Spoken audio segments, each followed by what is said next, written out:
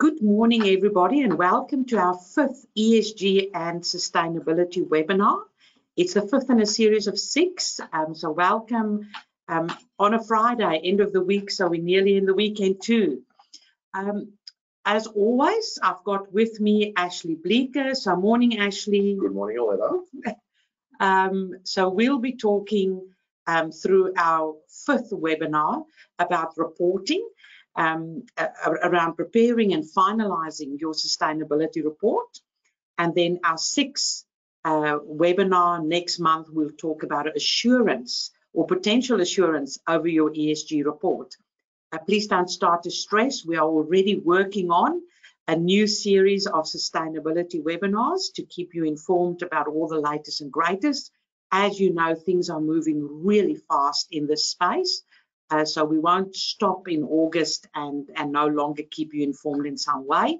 We are hoping to get some of our other, or confident, we are going to get some of our other ESG and sustainability partners involved. Um, so you're not stuck with Ashley and I indefinitely.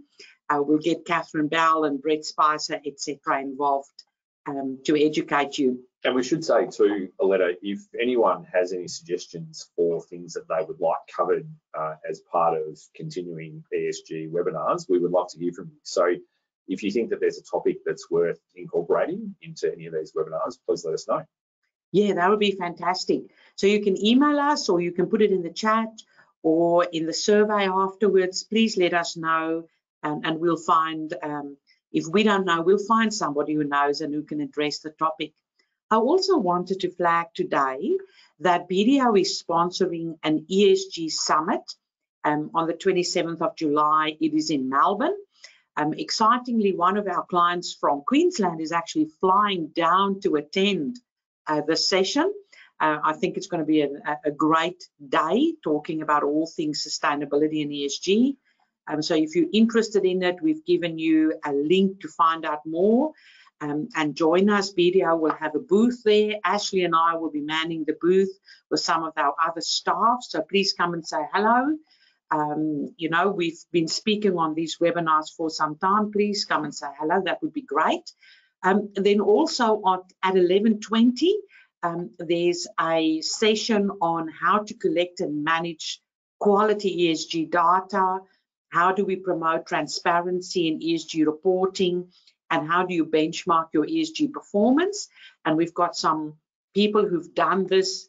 You can see there at Officeworks, for examples, for example, and I'll be moderating that session. So really looking forward to that session. Again, please um, um, look at this and, and come and say hello, come and join us and come and ask some questions. So for those people who don't get enough of Aletta once a month for one hour on webinars, here's another hour that you can come and listen to her moderator session for. I reckon actually people will now say I'm definitely not coming, we've had yeah. enough. But I'm surprised you haven't organised the go-to webinar for that session. Correct. but anyway, if you don't want to listen to the South African accent anymore, come and speak to Ashley um, at our booth. So back to today's session when we look at the ESG roadmap. And as you know, we've been talking about this ESG roadmap throughout our webinar series. And here it is again. So in our ESG roadmap, we've said in step one, we assess, we look at the current state of ESG activities in an organization. Um, and I think uh, we found that there's a lot of things that organizations are already doing, um, not um, with thinking they're doing it for ESG or sustainability, but doing it for good business practices and, and business reasons. So we try and find all of that throughout the organization. And in step two, we talked about how do we um, do a materiality assessment, how do we engage with our stakeholders, etc. Then we had a session on talking about uh, leveraging our current initiatives to develop a strategy so how do we uh, align um, the outcomes from what our stakeholders want with what we currently do and what are the missing bits? Uh, in step four and webinar four last month, we actually talked about measuring and we talked about that internal reporting to management. So we management can measure on an ongoing basis in order to achieve continuous improvement. So today we get into the fifth step where we talk about reporting, preparing and finalizing the sustainability report. Um, so, you know, you have to agree your format, your content, etc. I think it's a it's a good time to maybe just sit back and say when we started with this process, um, we had rough timelines lined out on what should be happening across the next um, at that stage next six months in order to prepare and finalize a sustainability report by the end of September or October this year to go out with your audited financial statements for 30 June 2022. Now, speaking to clients, I think a lot of people have said this is interesting. Um, we want to do it. We committed to doing it. We want to start. We want to activate. Um, but there's a lot of other things going on. You know, we're still struggling to get people back from home um, to come to the office. We're struggling with the latest wave of COVID. There's a lot of other priorities. And, and maybe this has been a little bit on the back burner. We've attended education, but you know, to, to really get started, it's been difficult. And therefore, we don't think we're going to achieve that uh, September or October deadline to issue our first sustainability report with um, our annual financial statements. Um, and, and that's a reality, and I think it's true for many of our attendees, and that's okay. What we're trying to do today is maybe articulate that if that is the case for you, it's not the end of the world. However, there are certain requirements and certain things that will have to be done um, in order to satisfy your directors and your auditors around your 30 June 2022 financial statements. So there's a clear indication from our regulators, from our standard setters, um, that consideration should be given to sustainability and ESG risks and opportunities um, and how it interacts with financial statements. So upfront, you might be working towards that first sustainability report, which is fantastic, or you might be saying, um, we'll do it next year this time, um, or and the third category, we might have to get something linked to our financial statements as soon as possible. So, Aletta, just so I'm clear, are you saying that if I've chosen to defer my sustainability report, are you saying that I'm not off the hook? Is that what you're saying? Absolutely. You've just said it much better than I could ever say it, Ashley, as always, and you're right. So if you've decided to defer, you're not off the hook. Right. Listen today. We're going to tell you why you're not off the okay. hook and, and how we can help. Um, so when we look at ESG and sustainability uh, reporting, we've always said this is all about progress and continuous improvement. And last month's webinar, we said the whole idea of reporting has two parts to it. There's internal reporting to management, so they can monitor, adjust, improve, and we think dashboards and continuously the updated dashboards would be a good way to do that. And then obviously we've got the external reporting to stakeholders, which will happen annually. Um, and that's what we'll focus on today, is this external part. If you're interested in the internal part and the dashboards, last month's webinar would be a good one. Um, before we look at the sustainability report, I thought it's a good time to maybe just reflect on the increasing, increasing focus on greenwashing. Um, so, you know, we've talked all along that we're doing, or many of our attendees are doing their first sustainability report or trying to activate to get to that first sustainability report. We're doing a baseline report. Um, and therefore, articulating what you are already doing in your business is really important. Um, and then we said maybe going forward, we could start to think on what you want to achieve in future maybe start to think about developing targets, maybe start to think of publishing those targets.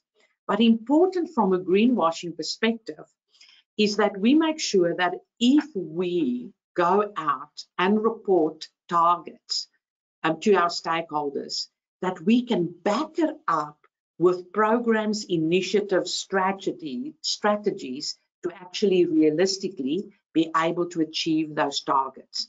Um, so we cannot put very ambitious targets out into the market and out to stakeholders if we don't have the plans behind it to give us a chance to, to, to achieve those. Um, so I think one should be aware of that. Um, talking about these regulators, now we know in Australia, we don't have laws requiring uh, ESG and sustainability reporting, um, you know, where the US and Europe is much more advanced.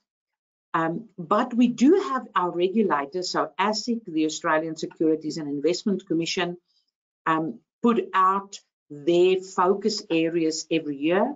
And these focus areas for 30 June reporting, and this is financial reporting, but in this focus areas, they specifically refer to um, the fact that our operating and financial review, the OFR, should complement the financial report and tell the story of how the entity's business are impacted by COVID-19 and non-COVID factors. Um, and it, you know, the underlying drivers of the results and positions should be explained. And this is important, as well as risks, management strategies, and future prospects. Sorry. So forward-looking information should have a reasonable basis. So that's the greenwashing aspect. Forward-looking information any forward-looking information, but we should think ESG, sustainability, climate risk, all that information should have a reasonable basis and the market should be updated through continuous disclosures if circumstances change. And then they've also put out a regulatory guide um, where they talk about the operating and financial review. Now you'll see if you consider um, the ASIC uh, publication, and I've got a link there, they recommend that in the operating and financial review, organizations consider the impact of climate risk on um, the financial statements.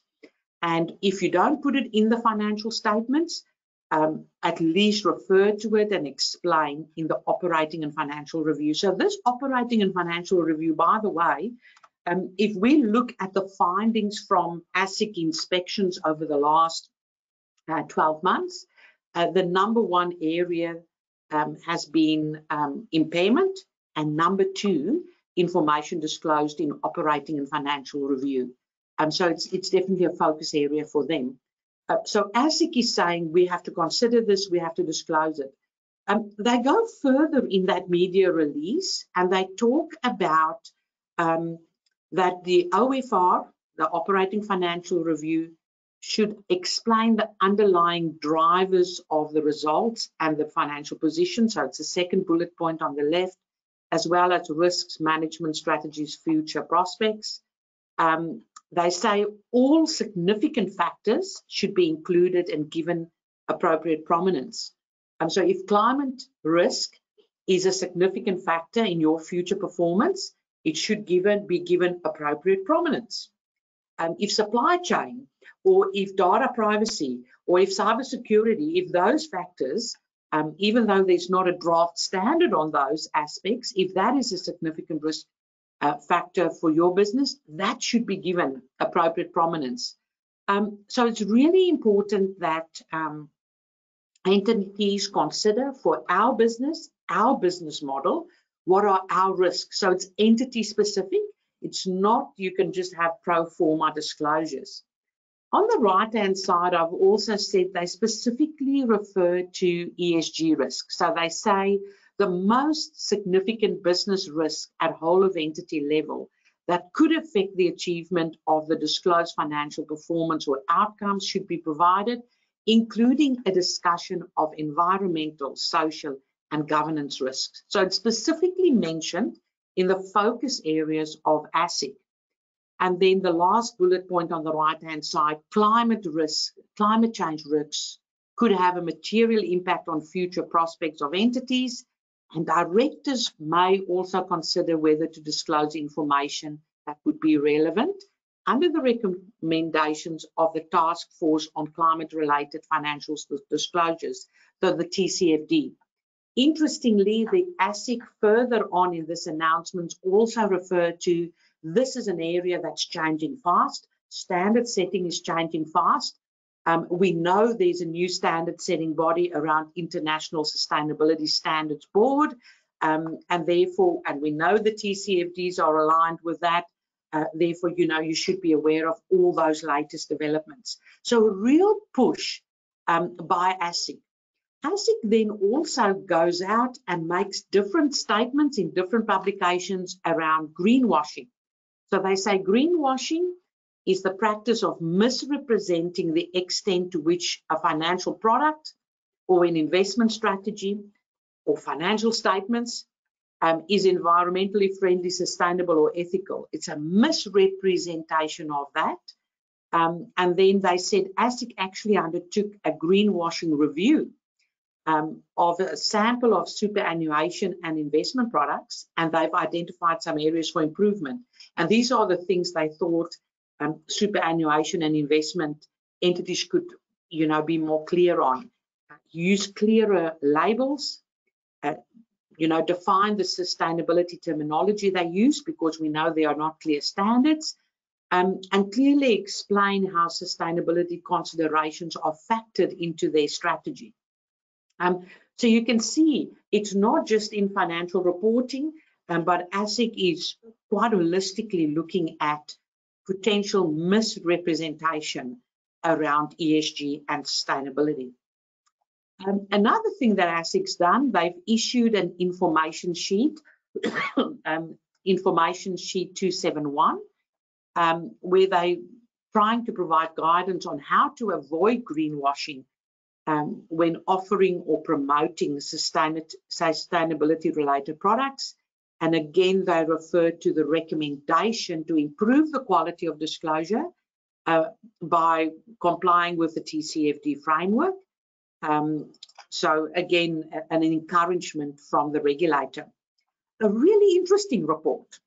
Uh, ASIC also published a report where they've looked at climate risk disclosure by Australia's listed companies. So I've given you a link there to the report and then just a screen grab of the front page of the report.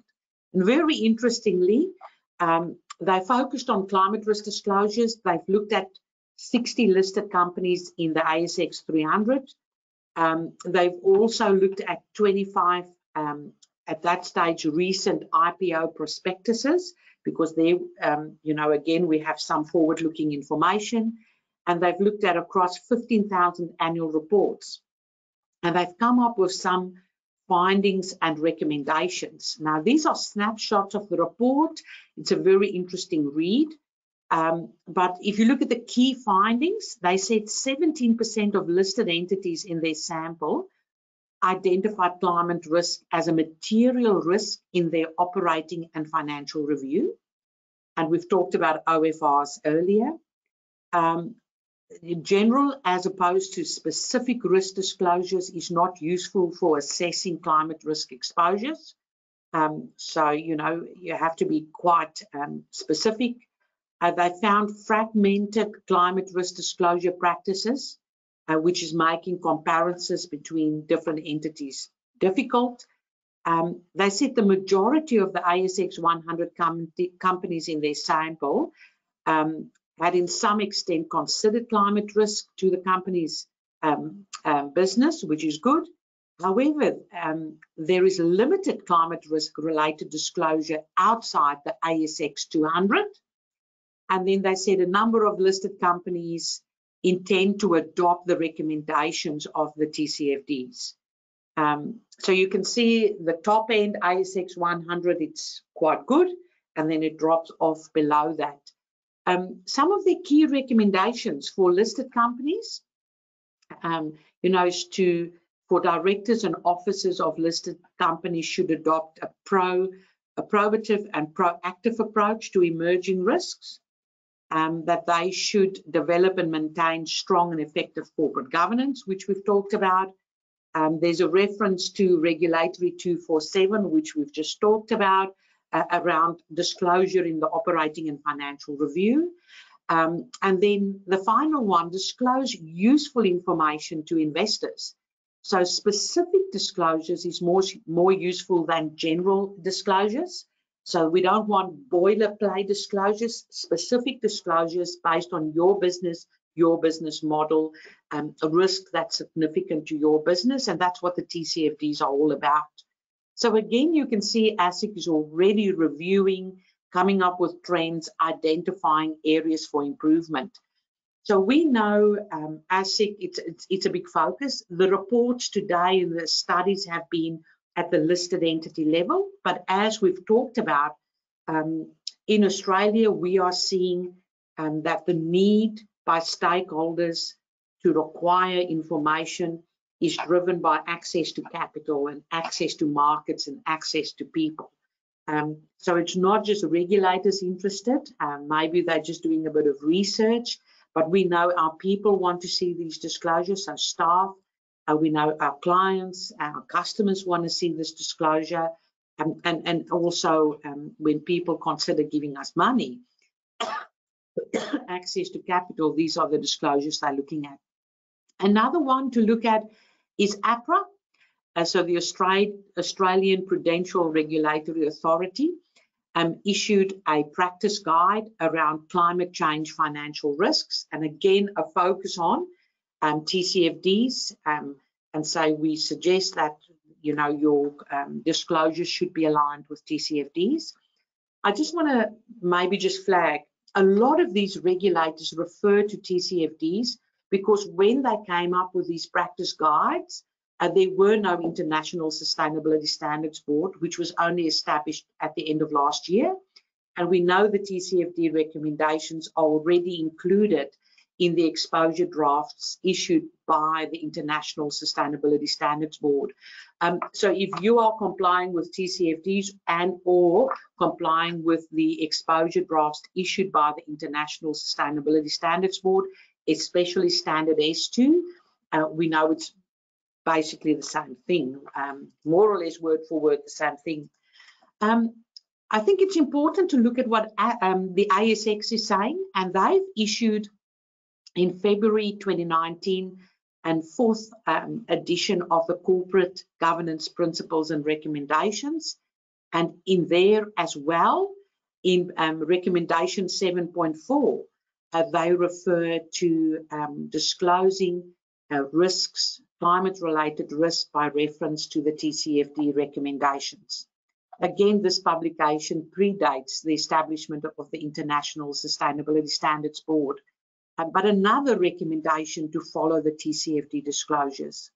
And then finally, the Australian Accounting Standards Board in April this year issued an exposure draft um, on um, the new standards issued by the International Sustainability Standards Board. Uh, comments um, are due on the 15th of July, which is today, around the first uh, standard, disclosure standard around the general requirements, as well as the climate-related disclosures. But in this exposure draft, they only re also recommend disclosure currently with the TCFDs, obviously, as well as uh, the future standards after this ED.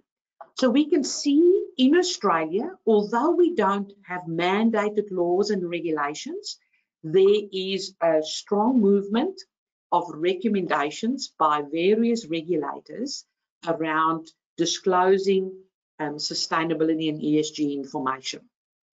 And a warning to consider and be careful of greenwashing. If we move on and look at delivering your sustainability report, um, we want to look at four aspects in particular. So the first one is where to report sustainability information, which I think is a critical question. And then we move on to, so what is the content, what is the format, and who needs to be involved. Um, and, and Questions two, three, and four really flows from the answer to where to report your sustainability information.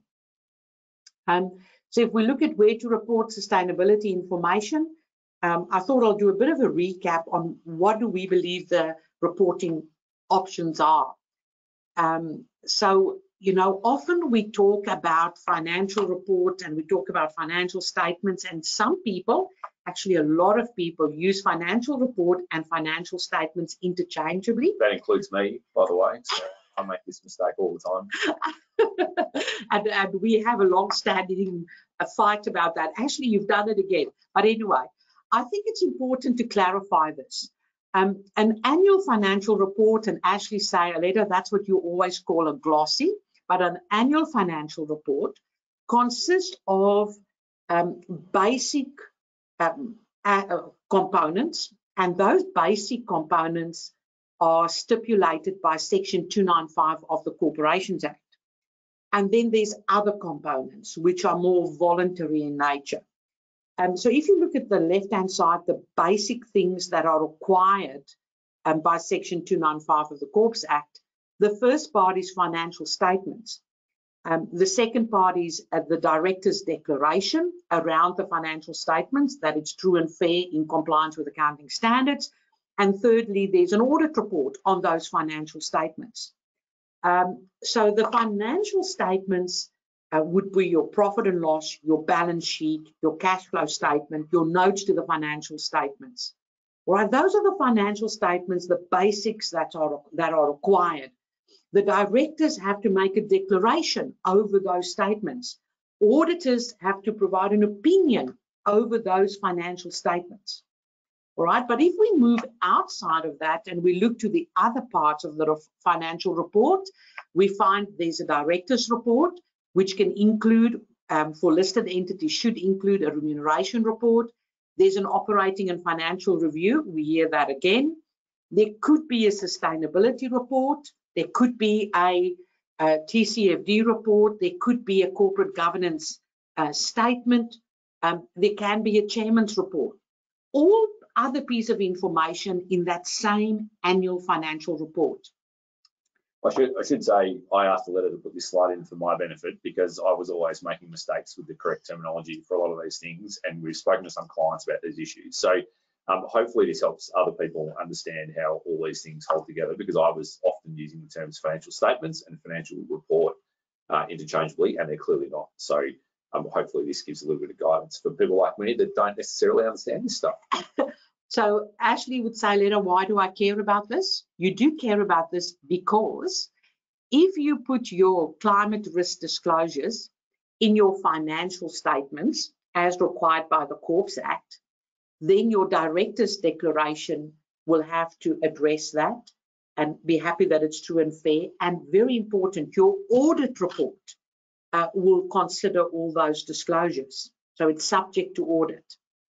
However, if you have your climate risk disclosures or your sustainability information in the OFR or the sustainability report, which is still part of the annual financial report, those aspects are not specifically subject to audit, but because they're part of this package, which is called the annual financial report, your auditor of the financial statements will still read them to consider whether there are inconsistencies between those documents and what they've just audited in the financial statements. Right, so it's not the auditor won't audit it, but they would read it and consider and look out for potential inconsistencies. So I think it's important that we decide where do we want to put our information? Do we want to put it in the financial statements subject to audit? Or do we want to put it somewhere in the annual report um, where it goes out at the same time? Or do we want to put it completely outside what we've got on this diagram? The reason I believe it should at least be in the annual financial report at the same time is because there's an interrelationship between the information in your financial statements, um, the value of your assets, the potential impairment of assets, the useful life of assets, your um, restoration and decommissioning liabilities, and your assessment of climate risk, etc. But anyway, that leads us to, I think there, th there are three key um, ESG reporting options. Um, first, you can have it as part of your published and your audited financial statements. Um, secondly, it could be part of that broader financial report, as we've explained on the previous diagram. Um, and I think that makes a lot of sense. And, and, remember, ASIC is strongly recommending that in that OFR, you address climate-related risks. So I would say if it's not in the audited financial statements, it should, as a minimum, be somewhere in that broader financial report to satisfy the recommendations of the various regulators. And then thirdly, it could be completely outside the report. So it could be issued um, at another date, just on the website, etc. But then you lose that link with the financial statements. Um, so that's just a few of the options. So a polling question. We thought, um, you know, I've been going on for so long and I'm exhausted. Let's get some input from you. So which reporting model um, are you following? So give us some feedback. Um, so that's just the three that Aletta's just run through there. So first one part of the financial statement, second one part of the broader financial reporting pack, or thirdly an independent report that sits outside of the broader financial reporting pack. Um, and again, we've worded this to say if you've already done it, or you're likely to do it, or you haven't produced your first one yet, um, knowing what you know today, and of course, everyone's been listening incredibly carefully to what Aletta's just gone through in the last 10 minutes. Which one do you think is most appropriate for your business and importantly for your stakeholders? So the people that want to read about this, where should they expect to see this and what level, uh, I suppose, of certainty do they want to see over the sustainability report? Thank you very much to those people who've already voted. It would be really fantastic if you could share your views um, obviously, when we close the poll, we'll, we'll share uh, that with all our attendees. I always enjoy these polls because we sometimes have some ideas, um, personal ideas. Um, some of our ideas are formed by what we see in our client base, uh, but it's always good to test that with a, a broader a community. So thank you very much for participating. I don't like it, it doesn't let me vote oh, you're not allowed to vote. I know what your personal view is, so no voting for you, Ashley. All right, thank you very much, everybody, for participating. And I'll share the results now. Um, and there you'll see 21% um, said part of the published audited financial statements, um, which is amazing. 47% part of that broader financial reporting pack. 32% uh, is a completely independent report outside the annual report. So we've got a, a good spread across um, the whole, uh, all three alternatives. Um, the only thing I would say for the third group that have the independent report outside of the financial report is to consider how they um, uh, whatever's in that report, to what extent it would impact the financial statements, um, and how do they satisfy um, the directors and the auditors that they've considered it when they've prepared the financial statements. Um, I think it's a harder um, sell on, yes, we've considered it, but how have you considered it? Um, might be a bit harder, but absolutely fantastic that you you are you are doing a, independent sustainability report. So thank you very much for that. That's amazing. Right. so then um, I've, I've, mentioned earlier, we believe um, that there's a interconnectivity between financial and sustainability reporting. And, we know that ASIC, the ASX, APRA, the AASB is saying as a result of that interconnectivity, we would like you to consider uh, the climate risk and the other ESG risk and how it impacts financial statements. So Ashley, I'll hand to you to, as an example, talk through climate change and how that links to financial statements. You'll, you'll notice a difference in slides, whereas my slides didn't have pictures on them because I'm not too good with words. And so we've just spent the last kind of 10 or 15 minutes on the thing that Aletta's truly passionate about, as you can probably tell. so we're slightly behind schedule. So this will just be a two minute segue for you. So, so, so the, the, the, thing the, the thing to take away from this is the role that climate change risks have across broader financial risks, right? And you've probably already seen people talk about climate risk in these three buckets. You've got the physical risks of climate change, You've got the transition risks of climate change, And then you've got the liability risks of climate change. And you can see the subcategories there, but that's a common way. So that one's out of the APRA um, practice guide, but you will have seen um, various uh, infographics displaying information like that. I suppose the thing to think about from a risk management perspective or from a reporting perspective is the compounding effect that each of these risks has on an organisation or on an organisation's other kind of enterprise-wide risks, right? So credit risk becomes an issue when you're looking at potential increases in defaults on loans because of houses or businesses being affected by adverse climate events. Um, you've also got issues about assets and their collateral if they're declining in value. You've got market risk, right? It's you, have got the potential repricing of financial instruments or um, debt or the value of securities.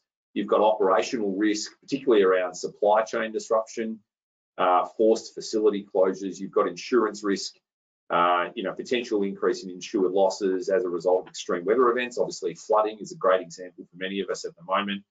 Uh, you've got liquidity risk, uh, you know, the demand for liquidity, again, responding to extreme weather events. Um, and you've got reputational risk. Know, and this this plays out in relation to customers uh, but it also plays out in relation to employees, so your employee value proposition. So you can see that there is a, a, direct link between climate change risk and what we would otherwise see as broader um, portfolio risks within each business. So just to take that slightly further, you know, and, and a lot of this is about managing um, risk because um, even though um, the extent to which specific risks materialise is uncertain, we know that there's a high degree of certainty that a lot of these, um, or that some of these financial risks will materialise as a result of climate change. Again, this is from the APRA practice note, just a, a nice way to explain all of this. What's important, and this comes up under the G in ESG governance from a risk management perspective, what's important here is that what, what organisations are expected to do is to be able to mitigate the magnitude of these risks through you know, appropriate governance, appropriate risk management, appropriate reporting disclosure scenario analysis. These are the different levels of the TCFD framework. Um, and, and, also use it to capitalize on opportunities. Uh, and so APRA's view and, and all we think all of our views should be the best way to manage these kind of climate risks is to manage them in the context of the, of the institution's overall business strategy and risk appetite at an ERP level and that obviously has implications for how you report on these things um, and how you manage them and what you say about your governance processes around these things when you're producing a sustainability report. So hopefully that kind of explains the, the connection between these two. Aletta, do you want to continue on from there? Yes. So we've said that these ESG sustainability risks um, ultimately flows through to financial impacts. It's got other impacts as well, but it also has financial impacts. And therefore, when we look at this interconnectivity between accounting frameworks and sustainability frameworks, we can see if you look at sustainability frameworks in isolation, um, and if you look at accounting frameworks in isolation, um, you might miss the bigger picture. Uh, if you put the two together, you see there's overlap and there's many topics that actually is part of sustainability and impact, impacts the broader sustainability uh, messaging and strategy for an organization, but also impact uh, accounting frameworks, impact value of assets, um, impact liabilities, impact um, the ability to collect debts, etc. Um, so I think we should understand that there's there's overlap, there's that link um, in practice, uh, and therefore we also see that overlap when we look at the frameworks. Now, if you look at a, a particular example, um, if you take an, an example of an entity that uses coal power plants, which may become decommissioned due to government policy, um, there are sustainability frameworks um, that would um, require disclosure of that. There's the sustainability disclosure standards. There's disclosures of risk arising from the, the, the entity's reliance on coal power uh, plants, and there's transition risks, etc. But then if you look on the other side, on the accounting world, there's the potential a change in government policy, which could be an indicator of impairment and it would result in the asset being written down, or we could argue if we don't impair the asset now, it at least has a much shorter useful life. We can't depreciate it over the next 30 years, we'll have to depreciate it, let's say, over five years. Um, so you can see that both angles have to be addressed, and that's why we believe in this holistic communication and putting this all together so we can clearly articulate how one thing the fact that the entity uses power plants impacts sustainability and impacts financial statements. So that leads us to the expectation gap. So investors, you know, what invest the expectation gap is what investors want and what IFRS accounting standards require. It's not necessarily the same thing. So this is a really hard thing for me to talk about because I love accounting standards and I'm now acknowledging in front of all of you that those beautiful accounting standards do not include all the information that investors want. And it's because the accounting standards, um, you know, is, is, is just a, a looking at certain aspects. So some investors and regulators believe that the effects of climate change are not appropriately uh, reflected um, so they say that overlap is insufficient. Um, to just disclose certain ESG things in financial statements is not enough because we miss all the other things. All right, so um, you know they think it's got an impact on um, audit quality and it's got an impact on the um, you know the adequacy or inadequacy of financial requirements. So it's really just a continuation so all these sustainability frameworks are actually there to complement and further enhance uh, the accounting frameworks to get an holistic view um, and a holistic communication of uh, the uh, risks faced by an organization and also the opportunities. Um, and that's what investors want to see. Um, some of the uh, comments uh, that's been received from investors, um, you know, some have been saying in the PRI report that they feel as if they're flying blind. There's a, glare, a glaring absence of climate risks in financial reporting. Um, they've said 70% of high polluting companies that they've reviewed are not or are only partially accounting for climate related risks. Um, there was also a, a, Sarasin and Partners campaign, and there was a, a, letter to the Big Four in the UK, and there's also a, a, copy being sent to the Financial Reporting Council in the UK, um, where they call for the company financial statements to be clear, clearer and closer aligned uh, to the Paris Agreement.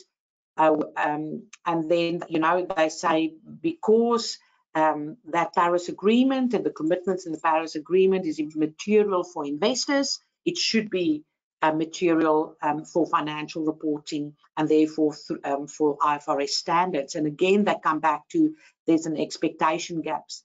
Um, you know, there's an apparent difference between what investors would like to see and what standards require. And this is just focusing on the expectation gap around climate change.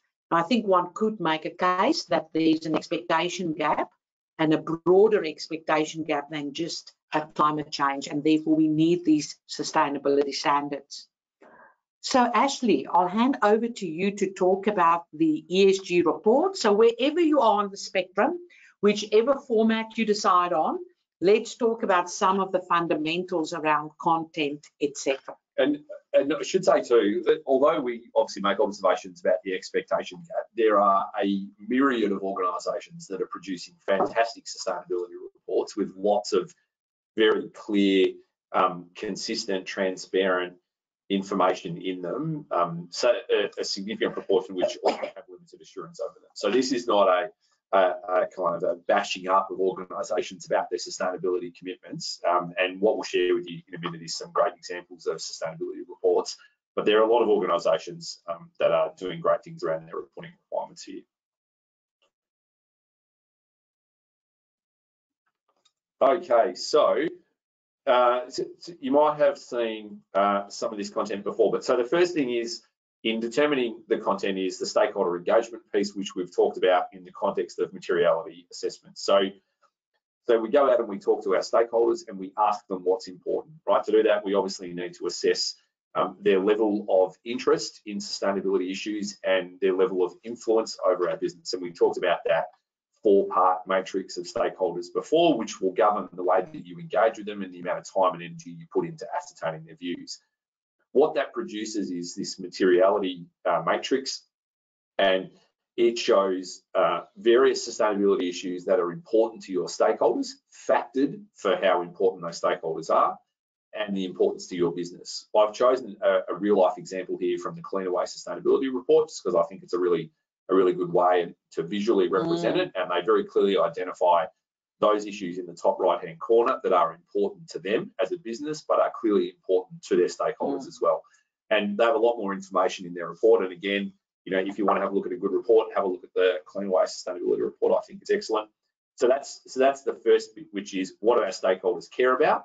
Once you have a look at that, the next thing to then consider is what framework should we report under, if any? And we've talked to you about many of these before. Uh, the, the pretty pretty boxes in the bottom right hand corner, the UN SDGs uh, have been very popular. They may be getting slowly eclipsed by other frameworks.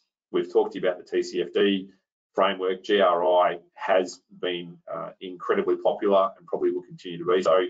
Uh, and we've obviously talked to you about the growing uh, influence of the IFRS Foundation and the formulation of the International Sustainability Standards Board, which is what Aletta's been talking about. So once you choose your framework, the question is how do you marry up various issues important to you and your stakeholders to those frameworks? Because this is not about reporting under every piece of a framework, mm -hmm. it's about picking the parts of a framework that are relevant to your business and your stakeholders. So once you've done that, then you've got to think about what kind of commitments you're going to be making around each of these pieces of the puzzle. What do we do in relation to E? What do we do in relation to S? And what do we do in relation to G? Now, one thing that's important to note is when you get to reporting, you don't have to produce a, a report that follows this format. Some reports do follow this format. Other reports follow a different format where they identify, say, the strategic pillars within the business and they report under the relevant ESG commitments or sustainability commitments that relate to each of those sustainability pillars. And we'll show you one of those in a minute. So that's the, that's the formulative work that you need to do to agree the content of the report. Mm. And so the question then is, once you agree the content, what does the format look like? And as I said before, the format can change or vary, and it's free for an organisation to choose what format they use.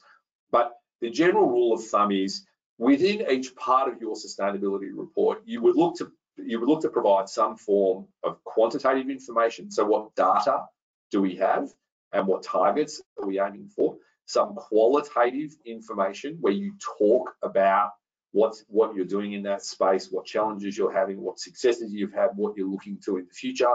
And often what you'll also see to help bring it to life for the reader is some kind of case study in each of those areas. So there's typically three parts to any of these sustainability report formats.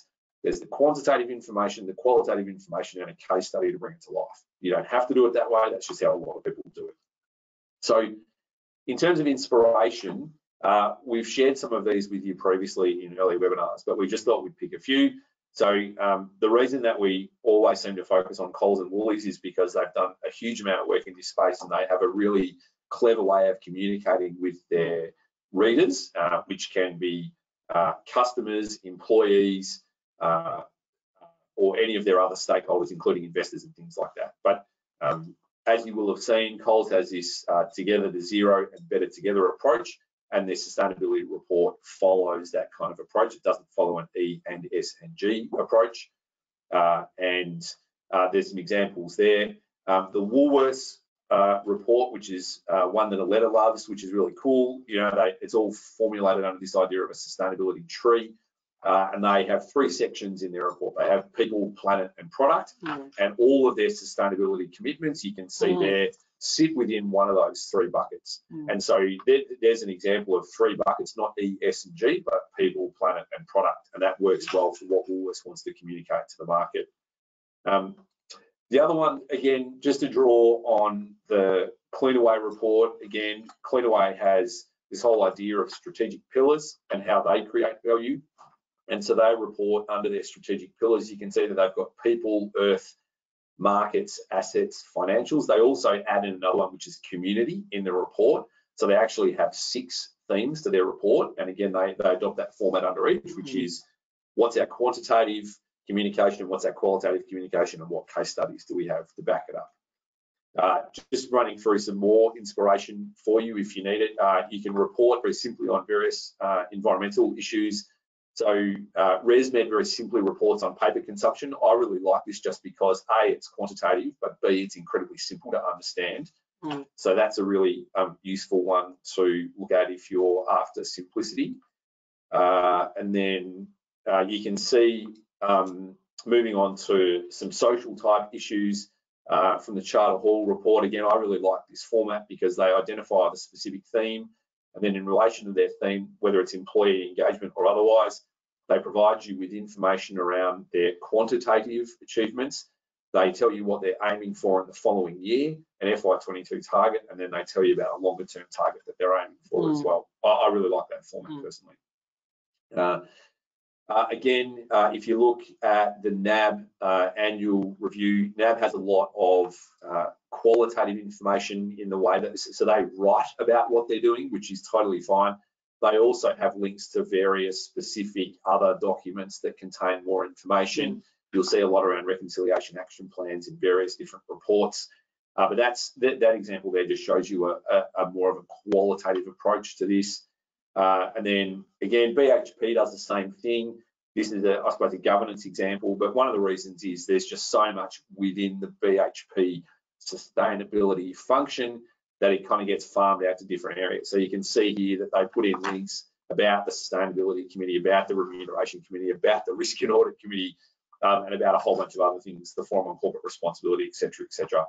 Uh, and then another example just under governance is from the CBRE uh, report. This is just how they talk about modern slavery and what they're doing about managing some of the risks in there and some of the programs that they have in place as well.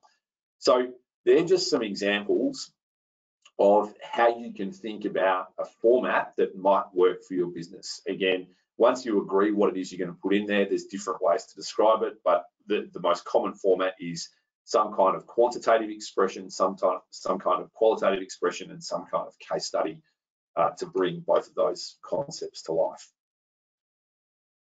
So question then is, okay, who gets involved to make this thing happen? And again, we've touched on some of these issues before, but the reality is this is a firm-wide or an organization-wide initiative. And so while you've got data owners, um, you've also got other people involved in this process. And so across that ESG spectrum, the data is going to come from pretty much every part of the business. A lot of people information will come from HR, a lot of supply chain information will come from the operations team, uh, a lot of uh, information around technology will come from the IT team, also from procurement. A lot of the risk stuff comes from the risk management function. A lot of the customer engagement will come from the sales team. And then a lot of your performance in and around how you track these things at a balance sheet level will come from the finance team. Notwithstanding the data owners, creating this report needs a whole bunch of other input. Okay, so there's got to be a narrative that's wrapped around all of this. And so normally what you would see is an ESG champion within a business that is the driver of some kind of narrative. Then there's the actual writing of the report. And so that typically involves some kind of communications expertise because these are big documents containing a lot of information. And the real challenge is how do we how do we communicate the key concepts to our readers simply so a lot of time and energy goes into how to set this out and what to say, rightly so in my opinion, because this is all about how well we communicate with our stakeholders.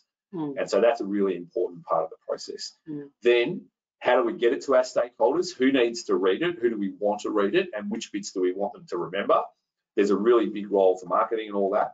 And ultimately, someone's got to drive it, right? I suppose what we've seen is people struggle if they don't get the board or some other key member of the leadership team involved in making sure this happens. So within our own business at the moment, our board is heavily invested uh, in this. Uh, and so our board has, has asked to see a draft of our sustainability report in I think about six or eight weeks time or letter. Uh, and so it's really important to have someone driving the process and taking responsibility for it. So that is a full court press. Everyone in, well, not everyone, but almost every part of an organization is involved in actually producing the final sustainability report for your business. some things to think about when you're trying to, to, I suppose, address this issue in your business, which is who is actually going to be the ESG champion within your organisation? Where are they most likely um, going to come from? Which department, which person, which level of seniority? Many organisations have a chief sustainability officer or a sustainability manager, uh, and then typically there's someone else at an exec level or within the board who, who ends up being the champion as well.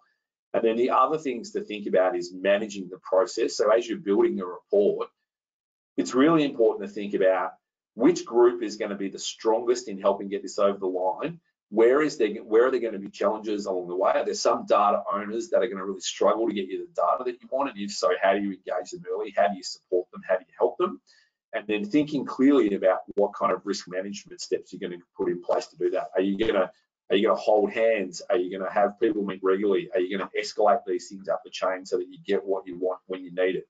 Um, who resolves deadlocks if there's a disagreement among the team about a particular strategic direction to take? Who ultimately has the call on it? Working out all these things beforehand and having specific risk management steps in place will help you stick to your timeline as you start to do all of this. Actually, I think we are at the end of our allocated time and somehow we've managed to get there. I think you've done a brilliant job because I went over time. I get so excited about reporting as I always do. Um, so thank you for speeding it up and getting us through all of that.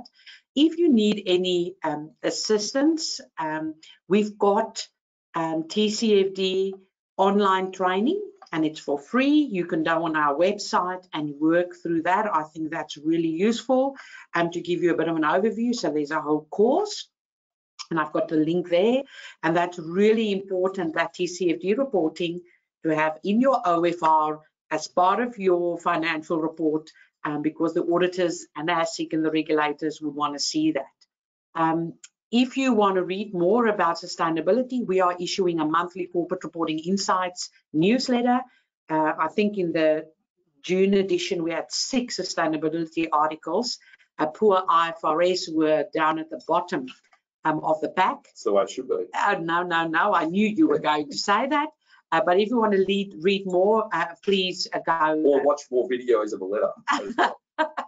or register for our corporate reporting insights.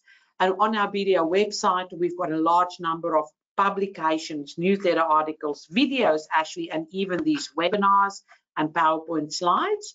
And then our broader team, um, you know, we in Perth, we've got Sharif and Catherine, we've got Brett Spicer, Dylan and Cherie in Brisbane, as well as Mark Cushing, Josh Carver in Adelaide, um, and Catherine Dean, Ian Hooper in Sydney, and then obviously Ashley and I are in, in Melbourne, uh, and Phil Murdoch there with Catherine and Sharif in Perth. So please feel free to reach out to any of us. If you go to that link, you can see contact details for all of us. Um, and in future, they will be joining us for some of our webinars. I would like to say thank you very much for joining us today. We hope you found it informative. Please reach out if you need any help to include ESG sustainability in your 30 June 2022 financial reporting um, uh, pack. Uh, or your financials, or obviously with the separate sustainability. But you're not off the hook if you don't, remember. Yes. There's still work to do. There's still work to do to keep those auditors and those stakeholders and those regulators happy. So thank you very much. I hope you have a great day and weekend. Thanks, Aletta.